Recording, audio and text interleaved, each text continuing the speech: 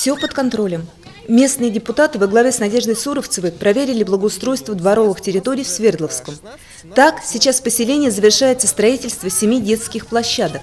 Депутаты «Единой России» посетили одну из них, которая представляет собой объект комплексного благоустройства дворовой территории. Новая площадка нравится как малышам, так и взрослым.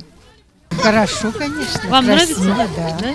То есть дворы, в принципе, улучшают состояние дворов? Да, конечно. Ну, а какие-то, может быть, какие-то замечания Здесь у с вас утра и нет? до вечера детворы, ужас сколько. Да? И Все так резвятся, спасибо вам большое. Может быть, какие больше всего элементы нравятся здесь? Мне желтая горка. Да, мне, тоже. Мне тоже. А мне доска-то.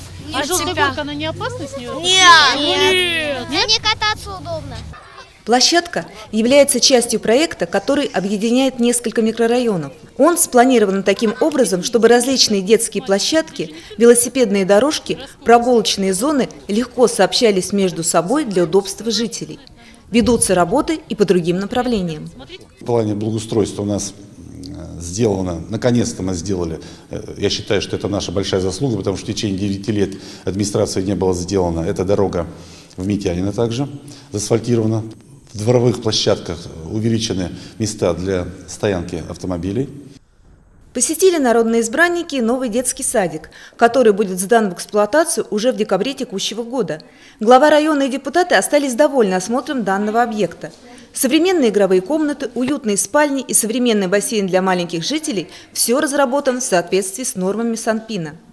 Я очень рада, что в нашем поселке Свердловском такие видимые изменения в благоустройстве нашего родного поселения.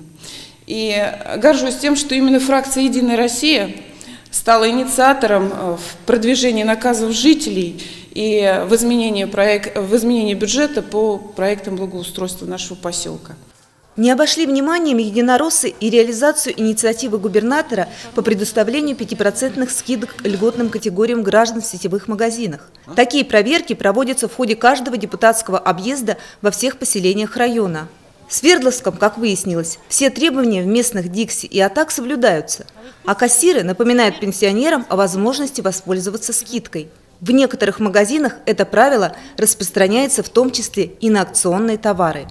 Независимо от того, спрашивают, да. товар или нет. Да, у нас на эту полностью идет э, скидка по соцкарте. Ольга Аржанова, Игорь Поляков, телерадиокомпания «Щелково».